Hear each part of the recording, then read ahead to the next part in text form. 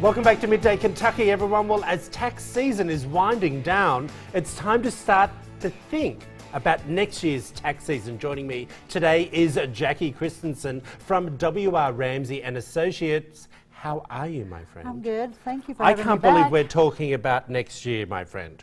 Well, me either. Yeah, it's But we- crazy. but this is what you do. But You we have work to. a year and ahead. Yes. Okay, now things are winding down. What positive things that are, there for the tax season moving forward? The big thing is the um, increase of the standard deduction. They've almost doubled. A single's Ooh. going to get 12000 married couple, 24000 Oh, it's enough to get married.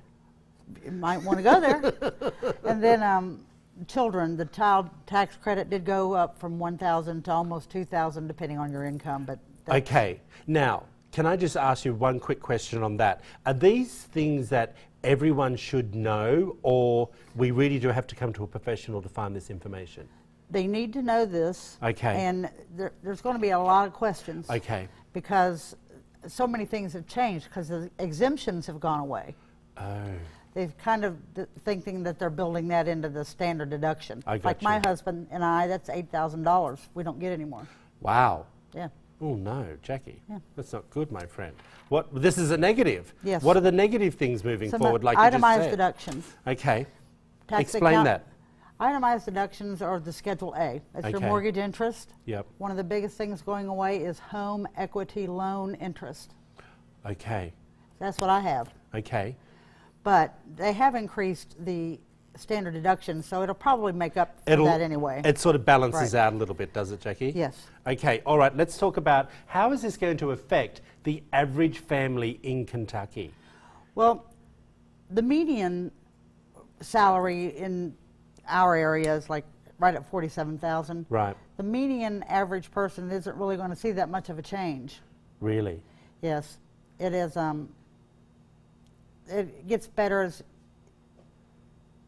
you get higher in your wages Yes, or yes, whatever. yes, yes, yes. I understand. I understand that. Okay, so what about people? And it's funny because there was a lot of tax conversation when it came to families and adults, but what about people who own their own business? Well- I didn't hear a lot of conversation about that. One of the biggest things that they were talking about was meals and entertainment. Okay. Meals and meals are still there for, at fifty percent. Okay. Entertainment, has gone away. Okay, so what do you mean by entertainment? Just break that down. Um, let's say you buy football tickets, you take to the ball game. Okay. That, no, what about dinners out for with your colleagues Yes, or that, that, and that's still the same. Okay, and you know things like dry cleaning and dry cleaning your suits and things like that. Dry cleaning isn't really. no clothing or oh gosh. lot of the Look at me trying to get everyone a tax break.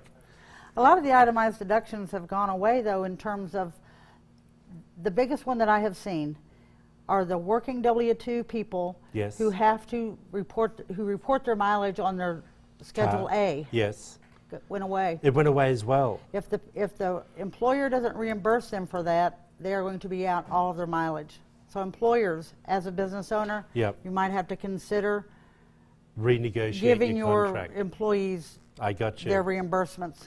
Okay, I, this is really important. What is the best way to know how all of these things affect myself? What is the best way? How what do we, know? do, what we particularly do Talk to to our clients is our tax software will allow us to show what is going to happen to them in 2018. Really?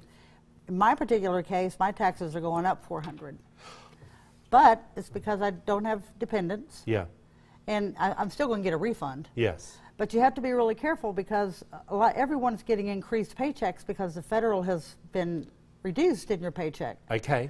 So we need to really check and keep an eye on it to make sure that you're going to have enough, even though the tax rates are down. Jackie, this is just too much, isn't it? Like you really do need a firm like you guys to be able to give all the great advice and also get everyone to help you now. All the information is being put up on the screen right now. WR Ramsey and Associates, everyone. Website, phone number. Thank you. We appreciate you coming My in. pleasure. We'll be right back after this short break. Everyone, you're watching it Midday Kentucky.